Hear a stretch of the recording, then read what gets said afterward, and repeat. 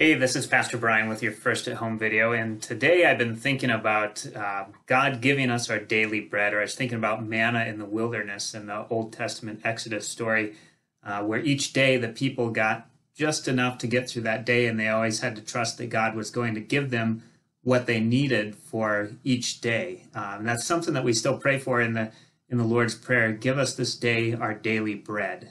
Uh, now, what exactly?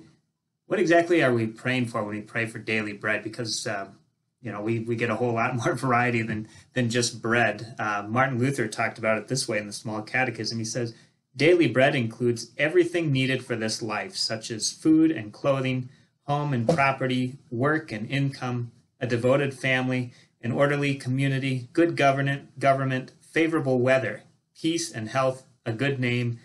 And true friends and neighbors. You know, I've been praying for good weather a lot here lately. I guess uh, sunshine, whether we have it or not, seems to affect my mood a whole lot. So on these kind of dark and dreary days where um, I, am trying to stay at home and I need to be indoors because the weather's not that great outside, I, I pray for good weather, and that's part of our daily bread that uh, we pray for as a part of that that Lord's prayer.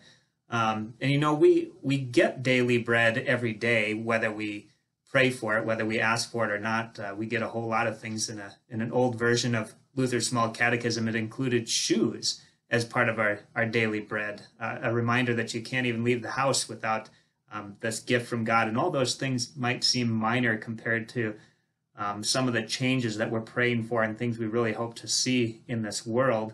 Um, but there's there's a practice here. Um, there's a the attitude of gratitude that's comes from a long tradition uh, from long ago in this Lord's Prayer, uh, in praying and asking God and being in the practice of um, knowing that we need this daily bread, these simple and easy things, um, and also knowing that God will give them, but being reminded to be uh, grateful for them and to, to give thanks for all the things that God gives us on a daily basis so that we get in this habit of trusting all good things come from God and that God is eager to give us what we need for this life and for the life to come.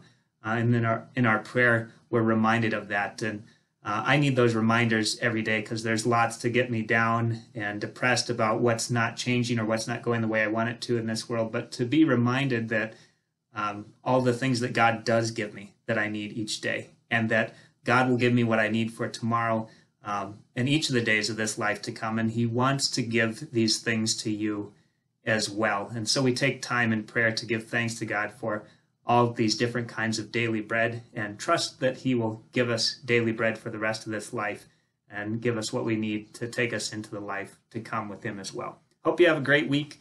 I look forward to our next First at Home video with you.